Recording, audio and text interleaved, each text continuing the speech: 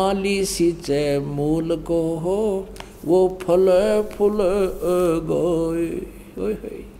कितने simple way में बताया परमात्मा ने कि एक के साथ सब सद है। यानी पूरा काम हो जाएगा एक मूल भगवान की पूजा करने से। और सब साध्य सब जावे। ये तो नाश कर दिया भक्ति का। हम ऐसा कर रहे हैं, सचमुच ऐसी साधनाएँ कर रहे हैं, गीता और वेदों के अनुसार ना करके मनमुखी साधनाएँ कर रहे हैं। अब आपको दिखाते हैं गीता जी अध्याय नंबर तीन का।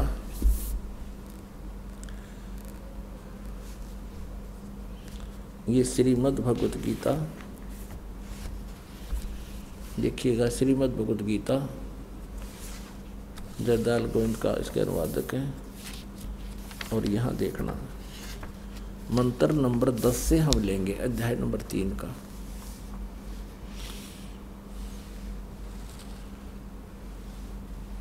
दस में कहा है, प्रजापति ने, ये ब्रह्मा तो ऊँ अड़ा दे हैं चलो जैसा भी है प्रजापति ब्रह्मा ने कल्प के आदि में यज्ञ सहित प्रजाओं को रचकर उनसे कहा कि तुम लोग इस यज्ञ के द्वारा, यज्ञ माने शास्त्र अनुकूल साधना के द्वारा वृद्धि को प्राप्त हो, और यह यज्ञ यदि शास्त्र अनुकूल साधना तुम लोगों को इच्छित भोग प्रदान करने वाला हो। अब ग्यारहवें में क्या कहा है? इस यज्ञ के द्वारा देवताओं को उन्नत करो। और वो देवता तुम लोगों को उन्नत करें। इस प्रकार निस्वार्थ भाव से एक दूसरे को उन्नत करते हुए तुम लोग परम कल्याण को प्राप्त हो जाओगे। बारह में फिर कहा है, तीसरे अध्याय के में बारह में। यज्ञ के द्वारा, शास्त्र अनुकूल साधना के द्वारा बढ़ाए हुए देवता, रजगुण, ब्रह्मा सतगुण विष्णु, तमगुण, शिवजी रूपी शाखाएँ, शास्त्र अनुकूल साधना से ये देवता बढ़ जाएँगे, बड़ी टहनी बन जाएँगी, पेड़ बन जाएगा। यज्ञ के द्वारा बढ़ाए हुए देवता तुम लोगों को बिना मांगे ही इच्छित भोग निश्चय ही देते रहेंगे।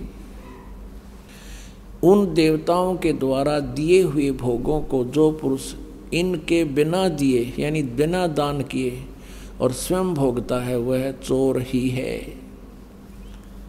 अब तेरहवें में क्या कहा है?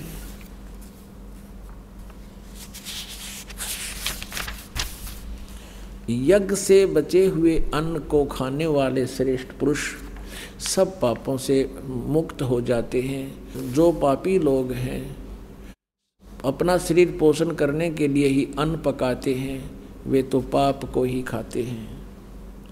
अब चौदह और पंद्रह में ये लिखा है, संपूर्ण प्राणी अन्न से उत्पन्न होते हैं। अन्न की उत्पत्ति वृष्टि से, यानी वर्षा से होती है, वृष्टि यज्ञ से होती है और यज्ञ विहित कर्मों से उत्पन्न होने वाले हैं। विहित कर्म माने शास्त्र अनुकूल साधना से यज्ञ सही होती हैं और कर्म समुदाय को कर्म को तू ब्रह्मो उद्भवम। यहाँ इन्होंने डंगा कर दिया लिख दिया, वेद से वेद से उत्पन्न नहीं, ब्रह्म से उत्पन्न। काल के लोक में आए तो हमारा ये कर्म लगे, हमने कर्म करके ही मिलेगा, वैसे यहाँ कुछ नहीं मिल सकता। तो ब्रह्म के यहाँ ब्रह्म के से ये कर्म लगे, और ब्रह्म की उत्पत्ति, ब्रह्म माने काल की, ज्योति निरंजन की ब्रह्म ने वेद गलत लिख दिया। ज्योत निरंजन काल यानी ब्रह्म को अविनाशी परमात्मा से, यानी परम अक्षर ब्रह्म से उत्पन्न हुआ जाने। उससे उत्पन्न हुआ काल ब्रह्म। इससे सिद्ध होता है कि सर्वगतम ब्रह्म सर्वव्यापी परम अक्षर परमात्मा ही सदा यज्ञों में प्रतिष्ठित है। सभी धार्मिक अनुष्ठानों में, शास्त्र अनुकूल साधना में परमा परम अक्षर ब्रह्म परम अक्षर परमात्मा या परम अक्षर ब्रह्म, सर्वगतम ब्रह्म ही प्रतिष्ठित है। उसको, उसी को इष्ट मान के पूजा करनी चाहिए, उसी को उस संसार रूपी पौधे के मूल को पूजना चाहिए, फिर वो सबको लाभ होता है। अब दिखाते हैं। अभी आपने क्या पढ़ा? गीता जी अध्याय नंबर तीन के और श्लोक नंबर दस में कहा है कि इस प्रारंभ में कल्प के आदि में प्रजापति ब्रह्मा ने कहा था कि तुम लोग धार्मिक शास्त्र अनुकूल साधना करो और उससे तुम्हें ये इच्छित भोग देगा। और फिर ग्यारह में कहा कि इस ज्ञान के द्वारा देवताओं को उन्नत करो। और वे देवता तुम लोगों को उन्नत करें, एक दूसरे को उन्नत करके ऐसे तुम परम कल्याण को प्राप्त हो। अब बारहवें में लिखा है कि यज्ञ के द्वारा बढ़ाए हुए देवता तुम लोगों को बिना मांगे इच्छित भोग देते रहेंगे। और फिर उनसे मिला हुआ जो कुछ है, और तुम उसमें से दान नहीं करते तो फिर तुम चोर हो। पुणात्माओं क्या स्पष्ट हो गया कि इन यज्ञ से बढ़े हुए देवता, रजगुण, ब्रह्मा, सतगुण, विष्णु तम गुण शिव जी अक्सर पुरुष एक पेड़ है, निरंजन वाकी डारे तीनों देवा शाखा हैं, ये पाते रूप संसार। अब शास्त्र अनुकूल साधना से, भक्ति रूपी पौधे को हम सुचारू ढंग से बीज कर, यानी जड़ की पूजा शुरू करेंगे, पूर्ण परमात्मा को इष्ट मानकर उसकी पूजा शुरू करेंगे। और उधर से पूरी टहनियों और तने की भी हिफाजत रखेंगे तो फिर ये एक दिन पेड़ बन जाएगा आम का पौधा। और जब ये टहनियाँ यानी देवता बढ़ जाएँगे, इन देवताओं को बढ़ाओ। जब ये बड़ी हो जाएँगे देवता यानी टहनियाँ संसार रूपी वृक्ष के, यानी फिर क्या होगा? यानी आपकी भक्ति बढ़ जाएगी।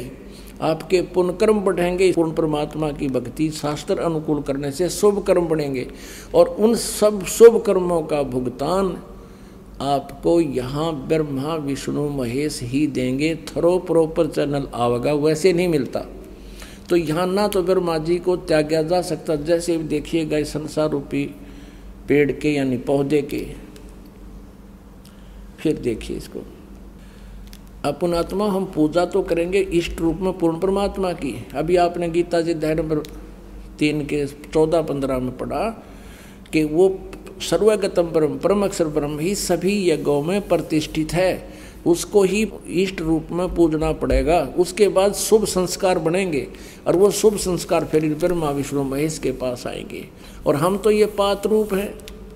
हम तो आगे हैं इनसे। हमारे को जो कुछ भी मिलेगा, हमारे शुभ संस्कार बनेंगे। इस तरह से पूर्ण परमात्मा को इष्ट मानकर पूजा करेंगे।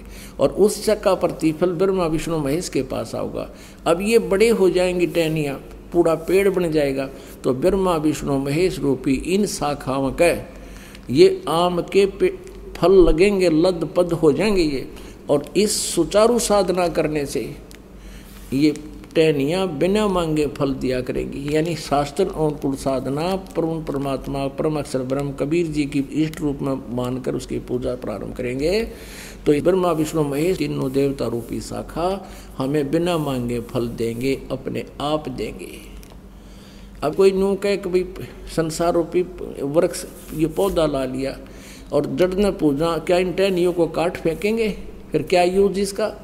तो ब्रह्मा, विष्णु, महेश हमारे अभिन्न अंग हैं। लेकिन हम गलत साधना करने से सब यूजलेस कर दिया। ऐसे करने से ब्रह्मा, विष्णु, महेश की पूजा करने लगे। परम अक्षर ब्रह्म यानी मूल को छोड़ दिया। हमने अपनी भक्ति का नाश कर लिया।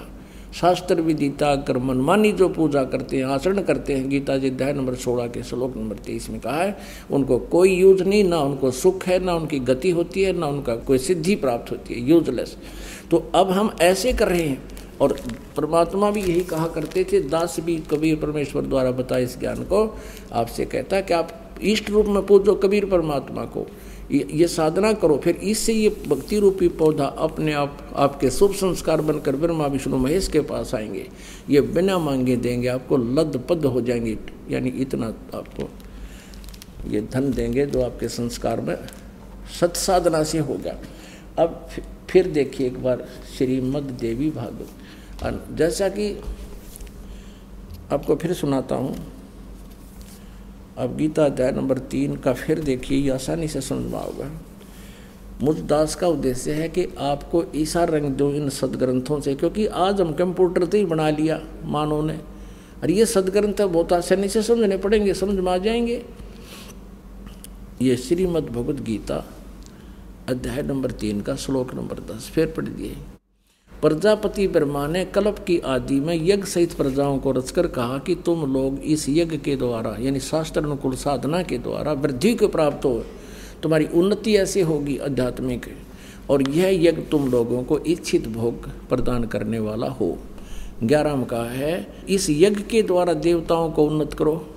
यानी शास्त्र अनुकूल साधना करो, इन देवताओं ब्रह्मा विष्णु महेश के पास तुम्हारे शुभ संस्कार जाएँगे, फिर यही देंगे तुम्हें।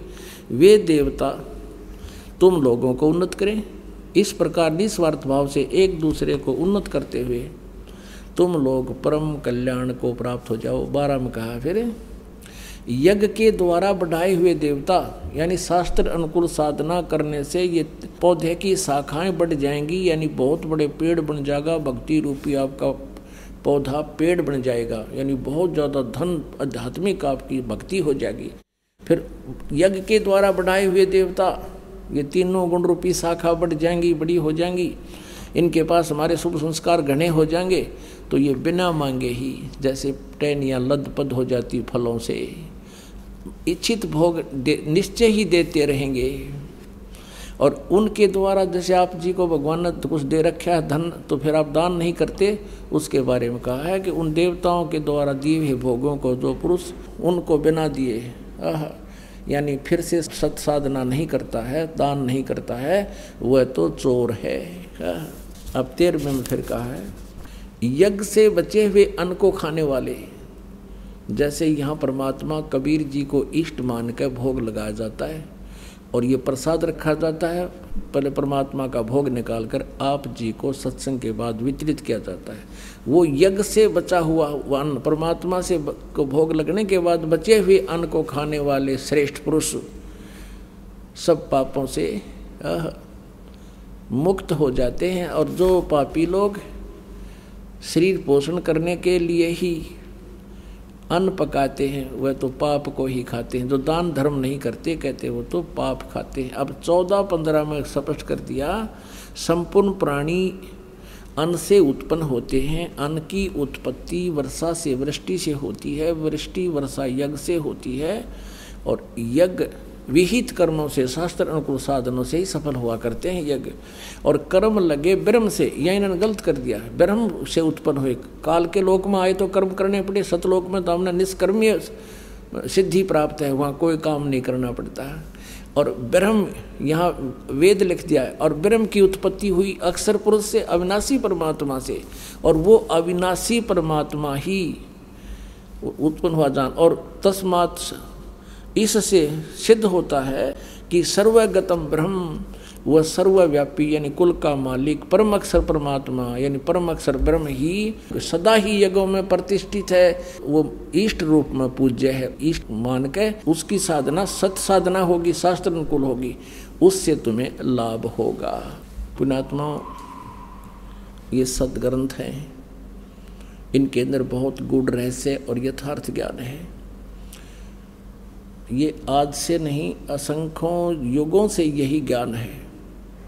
और ये सभी अनाड़ी जो ऋषि, महर्षि, नकली थे, इनको ज्ञान नहीं था। जिस कारण से आज तक हमारी दुर्गति हो रही है। आप करके देख लो ये साधना पुण्यात्मा सच्चे हृदय से एक दो वर्ष करके देखो। लेकिन हम क्या करते हैं कि काल के दूत गणे एक परिवार में से एक नाम ले लेता, चार विरोध करना शुरू कर देते हैं घर के घर में, और उसके नियम को भंग करवा देते हैं। काल नहीं चाहता कि इनको कोई लाभ हो जा, और परमात्मा की महिमा सबका समझ में आ जा। और कुछ दिनों के बाद क्या होगा कि यदि आप दृढ़ता से लगे रहे, सीधा कर देगा परमात्मा घर वालों को भी, और औरों को भी साथ। आपका कोई विरोधी नहीं रहेगा, एक दिन ऐसा ज्ञान आ जाएगा। तो ये ऐसे गड़बड़ करा देता है। और इस परमात्मा की साधना से आपको इतना सुख हो जाएगा, आप सोच भी नहीं सकते। भगवान इतना सुख देता है। एक अभी ताज़ा ही नाम लिया एक भक्त ने एमपी का ये थोड़ा सा बताता हूँ उदाहरण। ये भक्त है त्रिलोक दास बैरागी, ग्राम डिमर खेड़ा, जिला कटनी, मध्य प्रदेश का निवासी है। ये भक्त यहीं आया हुआ है आज। और एक बार आगे आ जा, थोड़ा सा दिखाते हैं। इसने क्या बताया है कि मैंने अभी नाम लिया था 2010 में।